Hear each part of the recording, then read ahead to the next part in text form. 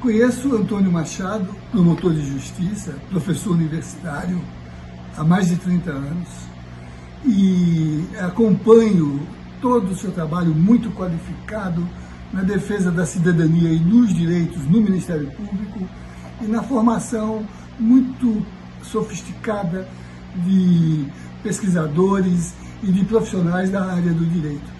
Não foi surpresa vê-lo agora conduzir suas expectativas de compromisso social para disputar a Prefeitura de Ribeirão Preto, uma comunidade complexa que exige discernimento, comprometimento com a coisa pública, experiência e projetos já testados numa vida pública republicana.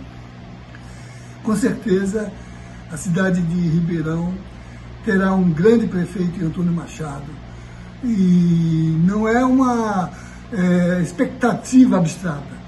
É a correspondência a uma atuação na qual todos os valores da ética, da qualificação do trabalho profissional, do exercício decente da política já foram testados e confirmados ah, por toda a sociedade.